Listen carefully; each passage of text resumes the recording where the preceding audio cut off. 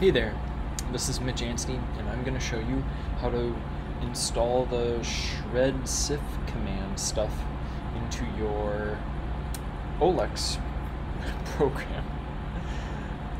This is uh, take one, so obviously I don't know what I'm going to say.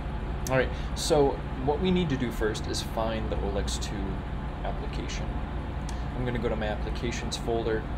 Now this handy dandy pop-up isn't going to give me what I need. I need to actually open it up in the Finder window and just conveniently it already pops up right there.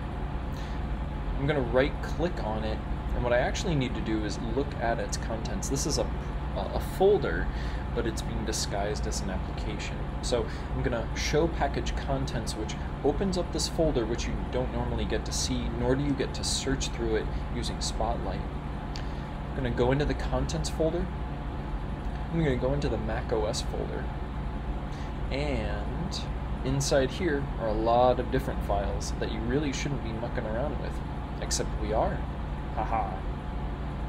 Um, these SHELX things, if you have SHELX installed and running, then you likely have also done ShredCIF. I just happened to have found that already in here, so I was quite pleased to see that. But what Amy Sarjeant said to do was to head to your macro XLD folder, and we're going to open it up with TextEdit.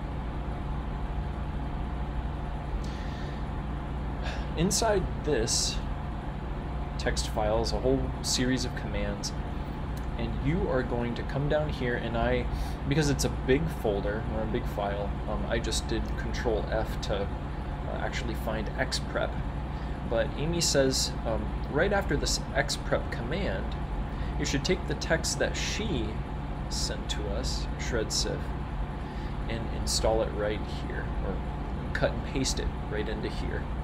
And that then tells the tells Olex2, Olex2 that if you type in ShredCIF, it'll just shred the CIF. Surfs up, bro. And so after that CIF has been shredded, you get the files that you want, the XL, the HKL, and the res. So I've done that, that's in there.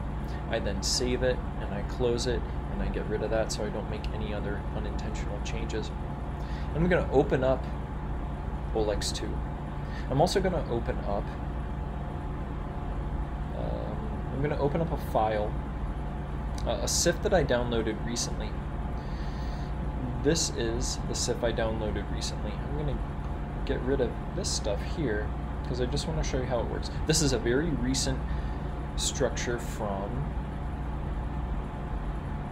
uh, inorganic uh, chemistry ASAPs.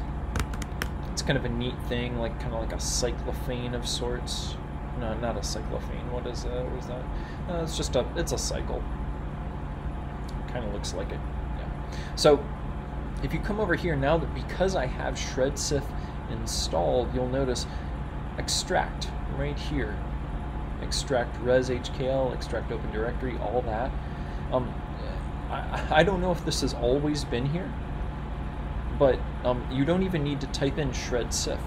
You can just simply click on extract res HKL and real quick, notice that this whole thing is empty, though, though there is a, an Olex2 folder that was created when I dragged dropped this into there.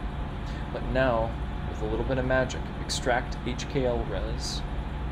Now it says HKL file already exists, you don't need to do any more extraction. And if I come over here, there it is.